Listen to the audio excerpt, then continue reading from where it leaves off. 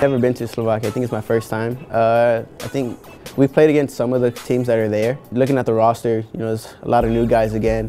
You know, some old guys, but we just take one game at a time, practice, train, see how the team looks, try to get that, you know, chemistry that we, you know, always had, and hopefully, you know, perform better than we did last tournament. There's guys that were born in the U.S. playing in Europe that come together as one for a week. You know, you only have a week to get get the group together before game time.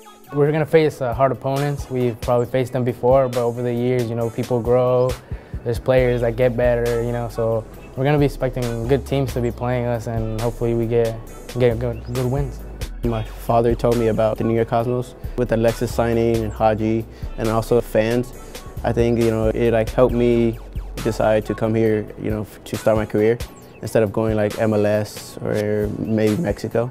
Well, to me, when I first came here, when I, you know, I saw Raul, I saw Marco Senna in the locker room, I was just like amazed, you know, I was like, wow, like I'm really in a locker room with a talented group of guys from just like legends, you know?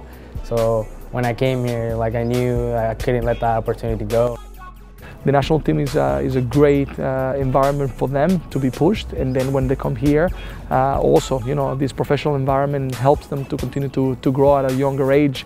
And I think what it does you know all this is allows them to mature quicker and be able to be you know more effective in their execution you know at a younger age for the national team or even for us you know uh, when they have uh, to play some matches.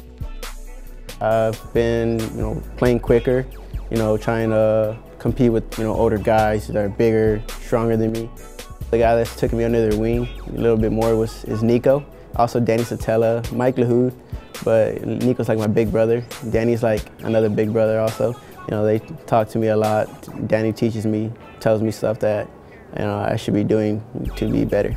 Yeah, I learned, I learned a lot from Gio. He's, uh, I think he's one of the best coaches I've ever been coached by. I mean, he's always giving me support. I feel like with him being around, I've been growing much as a player and as a person as well.